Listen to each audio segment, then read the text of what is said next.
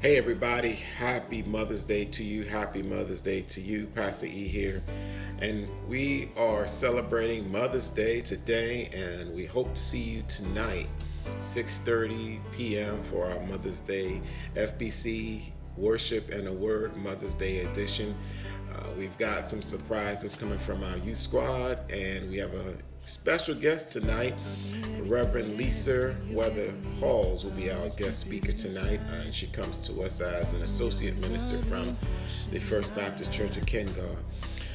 Again, we hope to see you all tonight and worship with us. And a very, very happy Mother's Day to all our mothers out there. God bless you.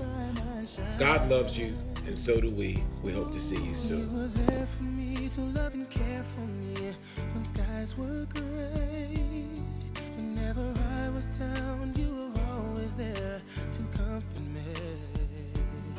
And no one else can be what you have been to me. You will always be, you will always be the girl in my life for all time. Mama.